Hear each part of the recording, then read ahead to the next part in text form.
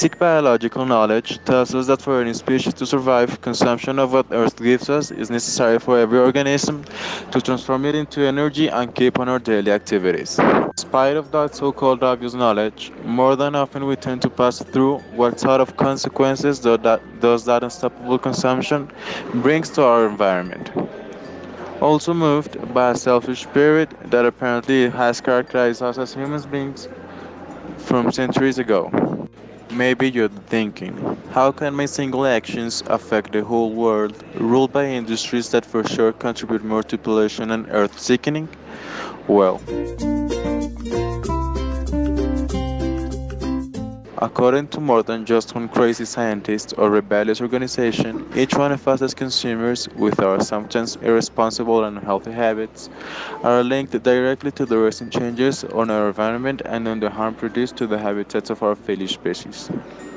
So, how consumption habits are related to our environment? And to be more incisive and strategic, what can we do in that manner to help? In order to provide a complete answer, it's necessary to provide some basic background and conceptual check. That, as you'll find out, is not as obvious as we might think. Let's start by habits. By mere definition, these are presented as a routine of behavior which is repeated through time.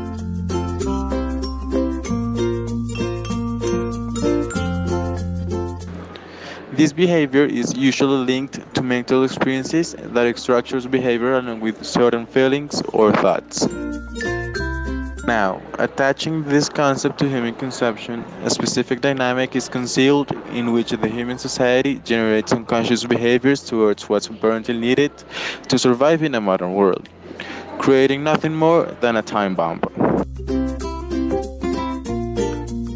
Nothing gets more complex when talking about what we need to survive, engraving on how different humans could be, without losing our common ground of needing the planet Earth as our main provider.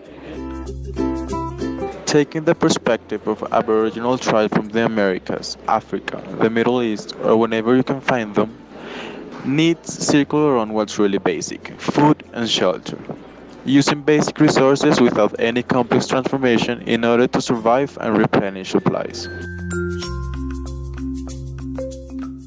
Take that perspective to the one of an ordinary citizen in any medium or major city around the world.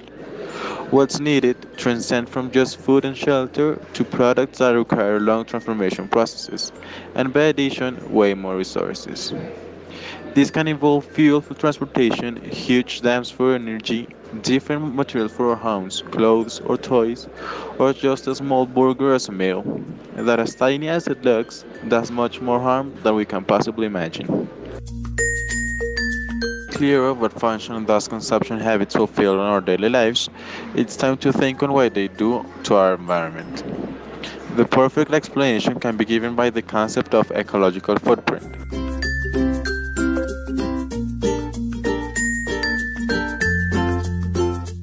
Which, as defined by the WWF, is simply described as the environment needed in order to produce the goods and services to support a particular lifestyle.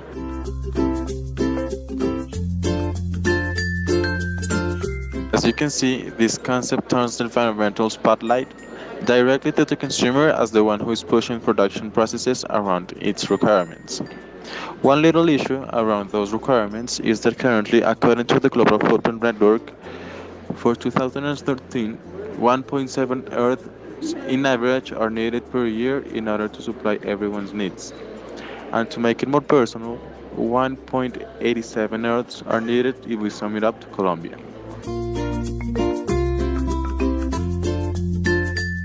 Leaving a big question mark on how sustainable our consumption habits are.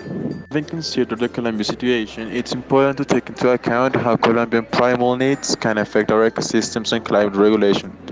Specifically, when talking about food acquisition from fishing grounds, croplands, and grazing lands. According to the Agustin Codazzi Institute, our territory is occupied on its 99.6% by rural zones, leaving space for inferring that Colombian production circles around agricultural activities such as cattle ranching, fishing, plantations, and so forth, destined to feed up up to 74% of Colombian population living in the urban areas. Even though these activities are clearly needed nowadays, it's necessary to consider how they, are being held on and what sort of consequences that they have on the environment. Taking cattle ranching and cropping as an example, these activities, pushed by highly consumer preferences as shown in this graph, are an interesting example on how we can endanger our environment according to our needs. Even though human beings as a species need to survive and endure long generations, it's mandatory to consider our survival based not only on what we consume, but also on how we do it. Our exaggerated consumption needs push companies to keep on production practices which as we saw are not always according to environmental needs and capabilities creating negative effects on our environment.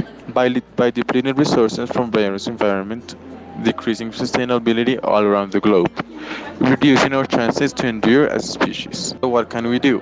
In general terms, the key concept is to create conscious and eco-friendly habits.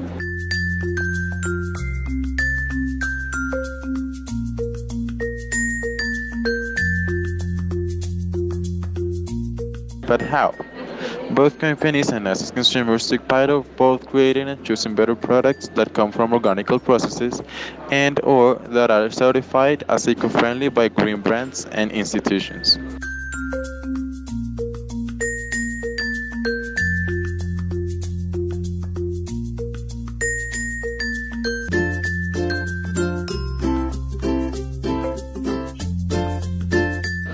That could push companies towards innovation in terms of better practices around environmental issues, leading a step at a time to real change.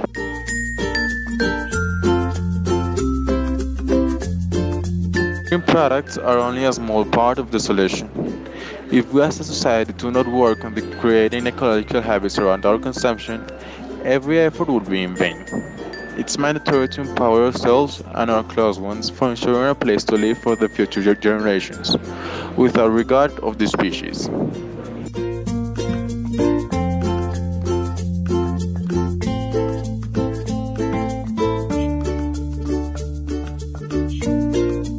We as consumers have the real power of change.